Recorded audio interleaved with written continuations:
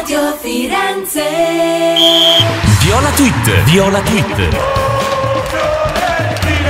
A cura di Fiorentina1.com, la voce del tifoso viola.